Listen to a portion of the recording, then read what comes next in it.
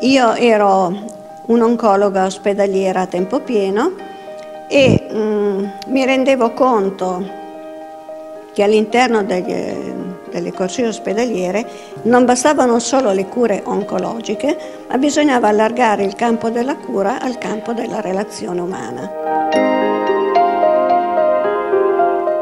Nella vita le occasioni possono aprire strade e fatti nuovi. Daniela De Giovanni è una delle testimoni della tragedia di Casale Monferrato.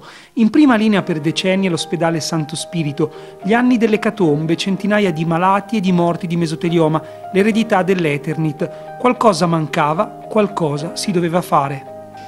Cercavo volontari eh, che eh, insieme a me venissero a casa del paziente a stare accanto al paziente ma anche ai familiari, spesso distrutti dal dolore, dal, dalla confusione, dalle insicurezze.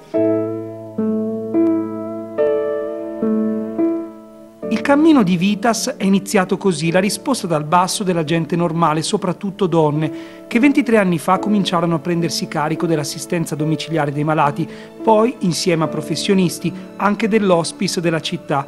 Patrizia è stata la prima volontaria, Tutte le volte che salivamo quelle scale e si apriva la porta era, uh, dice, adesso cosa mi aspetta. Poi invece le cose mh, diventano semplici perché eh, chi eh, ti aspetta dall'altra parte eh, è perché ti ha chiamato e, e sa che sei lì per dargli una mano e quindi tutto diventa semplice. Il fiume di bene non si è più fermato, ha coinvolto anche chi è stato segnato in prima persona dal dolore. Monica ha deciso di fare qualcosa durante la malattia del padre. Decisivo l'incontro con Daniela e i suoi volontari.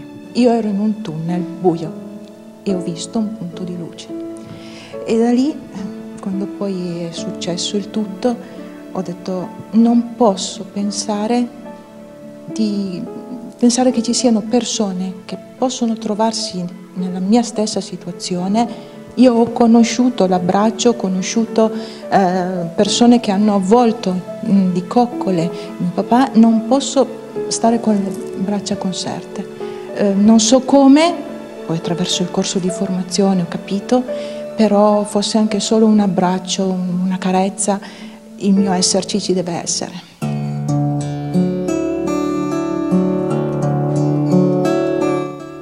Sono decine i volontari che si sono alternati in questi anni, non solo i malati di mesotelioma, ma anche quelli di Alzheimer, un volontariato che non si improvvisa.